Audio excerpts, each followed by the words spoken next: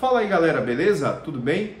Pessoal, nesse vídeo eu vou estar mostrando para vocês como vocês podem montar uma fonte simétrica a partir de duas fontes comuns como essa daqui que vocês estão vendo, né? É, eu tenho aqui uma fonte da AFR, uma, uma outra fonte que eu, um nome meio esquisito essa fonte aqui, eu comprei no AliExpress, já faz um tempo que eu tenho. Né? Eu posso até fazer um review para vocês dessa, dessa fonte, que ela é bem legal, ela tem um display aqui que mostra é, o gráfico de tensão de corrente elétrica, que eu acho bacana, interessante para algumas análises, até mesmo alguma montagem de circuito. Mas enfim, é, primeiro eu quero falar para vocês a diferença de uma fonte simétrica para uma fonte assimétrica, né? Primeira diferença está no valor. Não sei se você já fez uma pesquisa sobre a fonte simétrica, né? Em uma fonte dessas aqui comuns, você vai ver que o valor é, é bem superior de uma fonte simétrica. E por que, que, que o valor é maior?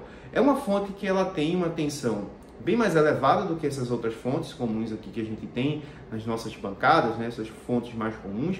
E também essa fonte simétrica ela disponibiliza uma tensão negativa, certo? Então, se você está precisando de uma tensão positiva de 12 volts e uma tensão negativa de 12 volts, você com uma fonte simétrica você consegue ter essas duas tensões ao mesmo tempo para, é, por exemplo, alimentar ou testar um certo amplificador algum outro eletrônico que necessita dessas tensões simétricas, né?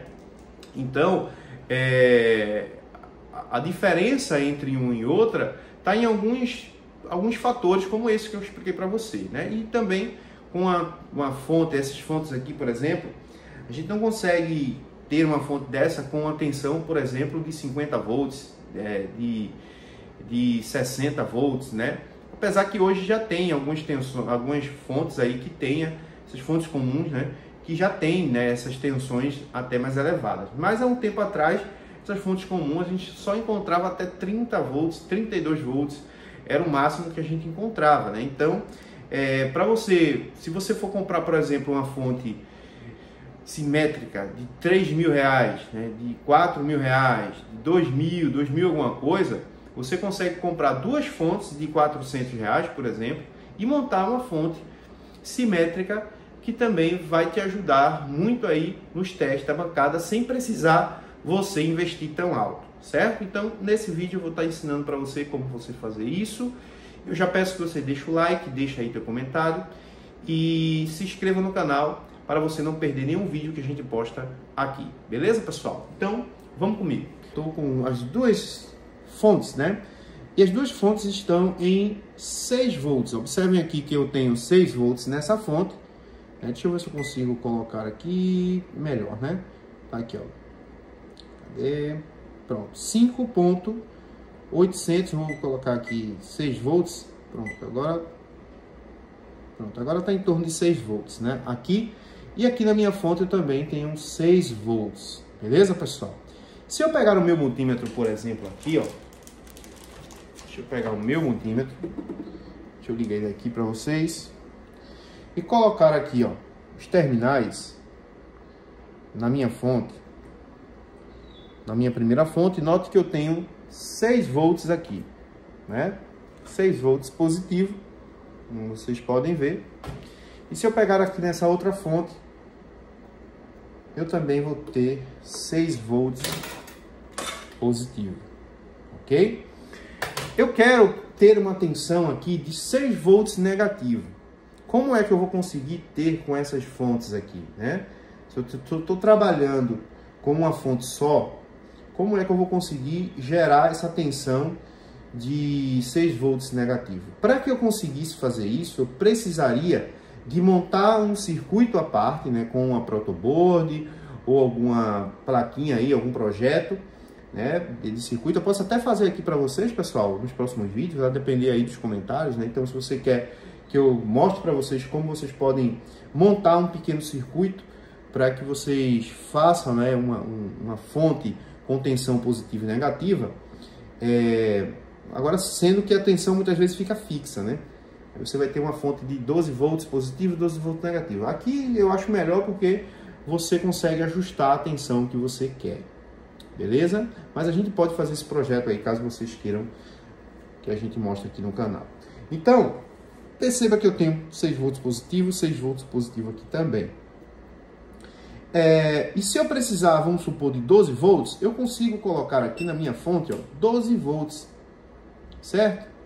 Agora, se eu precisasse, por exemplo, com essa fonte, vamos supor que só tenho essa aqui na minha bancada, né? Aí eu tenho 12 volts nela, agora imagina que eu queira colocar uma tensão, né? Eu vou testar algum eletrônico, e eu queira colocar uma tensão aqui para ligar esse eletrônico de 40 volts. Então vamos lá, eu só tenho 32 volts, ou seja, não consigo testar o meu equipamento eletrônico, certo? Eu tenho um equipamento, vamos supor, ele tem 32 volts, eu já não conseguiria. Com duas fontes na bancada, eu consigo, né? No caso eu tenho 32 volts aqui, eu tenho 30 volts aqui, eu consigo gerar uma tensão de 60 volts para medir algum determinado é, dispositivo eletrônico, alguma placa eletrônica que liga aí com 40, 50, 60 volts. Beleza? Então eu consigo fazer é, esse tipo de, de projeto também com essas duas fontes aqui. Eu consigo duplicar né, a tensão é, ao qual eu estou precisando para energizar algum determinado circuito. Mas vamos lá. Vou voltar aqui para os 6 volts ok? Vou voltar aqui para os 6 volts, porque eu tenho uma, um motor aqui que eu vou estar tá mostrando para vocês. Eu vou fazer um teste com esse motor para que vocês possam ver né, o teste com esse motor aqui, que é um motor de 12 volts. Beleza? Tensão contínua, né? Esse motor aqui, 12 volts, tensão contínua. A primeira coisa que a gente deve fazer, pessoal, para montar o nosso circuito com as duas fontes, é, eu sempre recomendo você deixar um pouco afastado porque às vezes o GND da fonte é na carcaça. Né? Você pode fazer um teste, por exemplo, com o seu, o seu multímetro. Eu vou pegar aqui o multímetro, vou colocar na escala de continuidade. Certo? Escala de continuidade, que é a escala do BIP. E colocar aqui, ó, por exemplo, uma garra aqui e outra aqui, ó. Para ver se bipa, né? O aparelho está ligado. Deixa eu desligar aqui o equipamento. É, não tem continuidade não. Deixa eu ver se está no bip mesmo. Tá, tá no bip. Ó, não tem continuidade. Deixa eu ver se essa aqui tem. Também não tem. Então essa daqui, essas duas fontes minhas aqui, ela não tem o GND conectado na carcaça. Então eu posso juntar essas fontes, não tem problema nenhum certo? Mas se uma fonte aí, ela tiver o GND na carcaça, quando você juntar uma na outra aqui, pode ser que ela feche curto, beleza? Deixa eu ligar novamente. Primeiro teste aí que você deve fazer. É, então, o que é que a gente tem que fazer, pessoal? Depois que... O primeiro passo, que é o passo principal, é você ligar essa fonte em série com essa fonte. E como é que eu faço isso? Você vai pegar o GND, certo? Da sua fonte. Vou chamar essa aqui de fonte 1 e essa daqui de fonte 2. Você vai pegar aqui a fonte 1, conectar um cabinho aqui, pode ser um fio também, não tem problema nenhum. E eu posso, ó, conectar aqui, certo? No positivo dessa fonte, ok? Então peguei o negativo da minha fonte 1, conectei no positivo da minha fonte 2. Ok, galera? Então já coloquei aqui. Eu vou fazer o seguinte, né? Para não ficar dessa forma aqui ligada, eu vou conectar aqui esse cabinho, certo? E vou conectar uma, um, uma garra na outra aqui, ó. Positivo com negativo é, das fontes, né? Negativo dessa com o positivo dessa aqui. Tá aí, ó, como vocês podem ver, conectados. Ok? Agora, vamos fazer um teste aqui com o multímetro. Deixa eu pegar o multímetro. Eu vou conectar aqui, ó, por exemplo, com as duas fontes agora em série. Eu vou pegar aqui, ó, positivo, certo? E vou colocar aqui no negativo. Vou colocar aqui no negativo, o que que apresentou? 6 volts positivo, não foi isso? Isso, gente, 6 volts positivo. Agora, se eu pegar essa, essa garrinha aqui, ó, e colocar aqui, ó, o que, que a gente tem? 12 volts positivo, ou seja, a tensão dessa fonte se uniu com essa tensão dessa fonte e eu tenho agora uma fonte de alimentação de 12 volts, ok? O suficiente para alimentar o motor, meu motorzinho aqui. Vamos supor que esse motor fosse um motor, vamos supor, de 40 volts, né? Fosse uma, uma placa de 40 volts que eu precisaria para alimentá-la para fazer um teste, né? Então, eu estou dando um exemplo aqui com uma tensão menor, claro, tensões altas aí acima de 40 volts, a gente pode tomar um choque aqui e não é isso que eu quero. Ok? Então, a gente tem que trabalhar com segurança, como é um vídeo educativo, né? Então, vamos trabalhar com tensões menores aqui. Posso colocar uma tensão maior aqui só para vocês verem que funciona também, né? Mas aqui eu tenho um motor de 12 volts, como vocês podem ver aqui, um motorzinho de 12 volts. E colocando aqui, ó, positivo nessa fonte, né, na entrada positiva, e colocando o multímetro é, com a ponteira é, negativa, né, ponteira preta, aqui, ó, no negativo dessa fonte, perceba que eu já tenho os 12 volts é, juntos, ok? Se eu tiro, por exemplo, aqui, ó, do meio, ó, tensão é praticamente zero, certo? Não tem tensão quando eu separo as fontes. Se eu uno as fontes, né? Unindo aqui as fontes em série, os 2 volts novamente voltam. Então, daí a gente já percebe que pelo menos a gente consegue duplicar a tensão da nossa fonte. Vamos supor que eu queira aqui, vamos colocar aqui uma tensão alta, né? Fazer esse teste, só para vocês verem.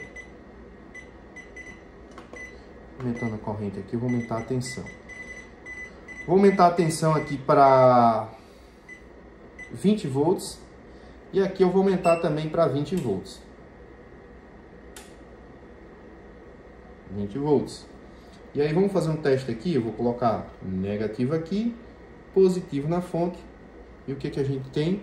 Uma tensão de 40 volts. Ou seja, eu não tenho 40 volts aqui, nem tenho 40 volts aqui. Agora eu já tenho 40 volts para fazer um teste em um determinado equipamento que tenha, que precise né, dessa alimentação de 40 volts. Se eu quiser aumentar ainda mais, eu posso também fazer né, esse, esse trabalho, certo? Vamos supor aqui, eu quero aumentar aqui para aumentar aqui para 30 volts. 30 volts é o que ela chega, o máximo. Vou aumentar a minha outra aqui também para 30 volts. Fazendo um teste aqui, ponteira preta aqui, ponteira aqui, e eu tenho 60 volts. Beleza, pessoal? Então, perceba que a gente já consegue duplicar a tensão a partir de duas fontes de bancada. Se eu tivesse aqui 60 volts nessa fonte, 60 volts nessa, eu já teria juntas aqui 120 volts tensão contínua. Beleza? Mas vamos lá para os 6 volts, né? Para não estar tá tomando choque aqui desnecessário. Tanto fio aqui a gente gravando. Então a gente tem que ter cuidado. Beleza, pessoal? Então vamos colocar aqui 6 volts.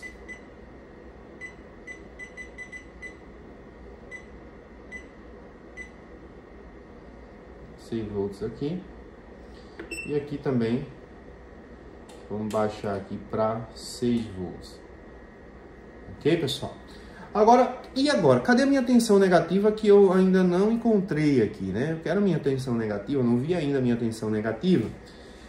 Vamos lá, pessoal. Para que eu possa ter uma tensão negativa, eu pego aqui, ó, como esse, essas fontes estão em série, né? Esse preto aqui, essa saída preta, né, a saída negativa da minha fonte, ela passa a ser, digamos assim, a positiva, né? Então, se eu pegar aqui a minha ponteira positiva, como a gente né, colocou a fonte em série, então ela passa a ser positiva, e o GND aqui, ó, da minha outra fonte passa a ser negativo, então a gente tem agora 6 volts negativo, ok? Agora vamos fazer o seguinte, deixa eu pegar aqui essas outras garrinhas, cadê as garras, né? Aqui, ó. Vamos supor que você precisa ligar um circuito que ela precisa de 12 volts positivo, 12 volts negativo, ou por exemplo 5 positivo, 5 negativo, né? É, o setor, por exemplo, de imagem dos smartphones, elas, elas trabalham com uma tensão simétrica de 5 positivo e 5 negativo, ok? Ou 6, é, dependendo da tela, né, dependendo da, da estrutura é, eletrônica do, de cada tipo de tela, a gente pode ter também para AMOLED, né, ou para OLED, uma tensão de, de 4.6 né, positivo e 4.6 negativo. Seria bem próximo aí aos 5 volts das telas de LCD. Mas vamos lá. Vou pegar aqui, pessoal, vou conectar isso aqui, né, como sendo agora o positivo, né? Vou colocar aqui, positivo.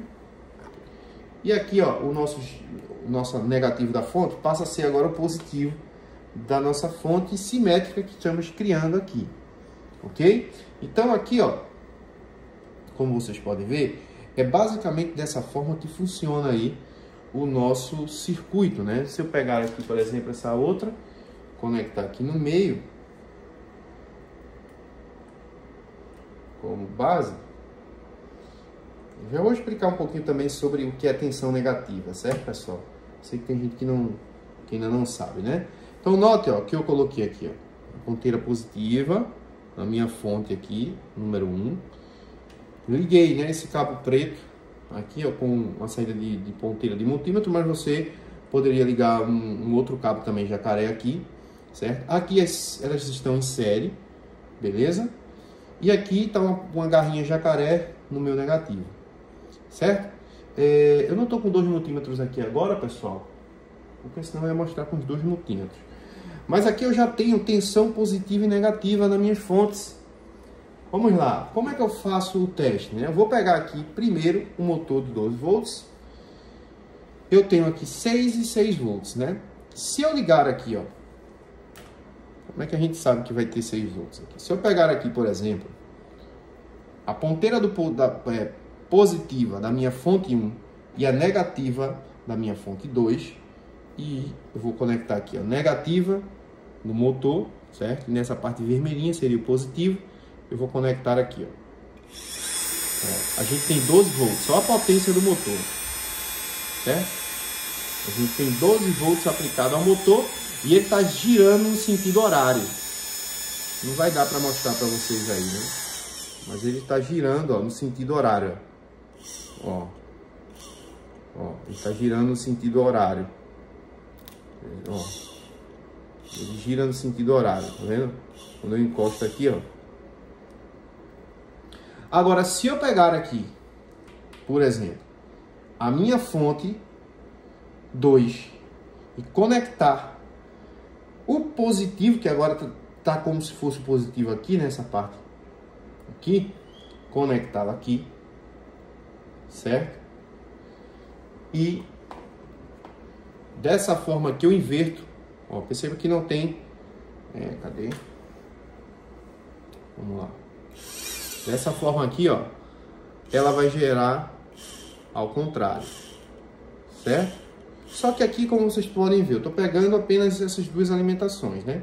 Estou invertendo aqui e ela e ela está é, trabalhando de forma inversa, certo? Eu giro para um lado, ele gira para o outro, ele trabalha inversamente.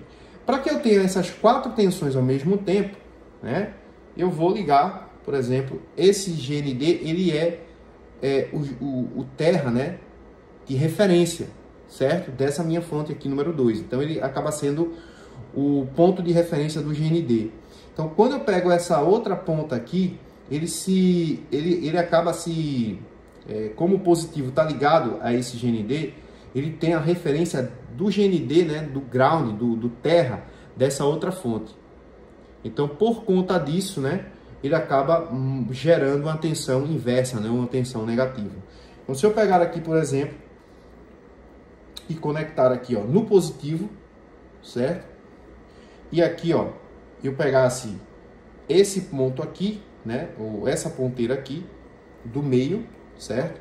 Que está ligada no GND, aqui, ó, dessa fonte, né? No terra dessa fonte, da fonte número 1. Tá aqui, ó, o cabo, certo? e conectar aqui no negativo, eu tenho uma tensão negativa de 6 volts, certo? Como está 6 volts aqui, vai ser 6 volts. Se eu aumentasse aqui para 12, seria 12 volts. Perceba que o motor gira de uma forma mais lenta, certo? E o sentido agora é anti-horário, certo? O sentido que está girando agora o motor é um sentido anti-horário.